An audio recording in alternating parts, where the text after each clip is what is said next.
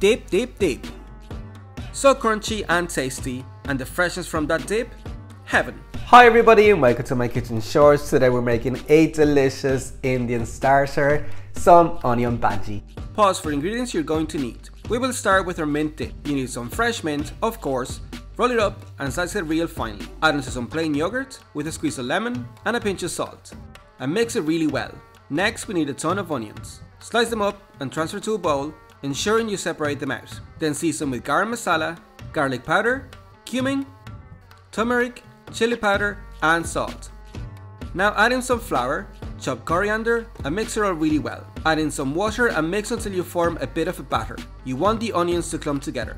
Finally, fry them up in some oil at 180 degrees until golden brown. And drain on paper towels.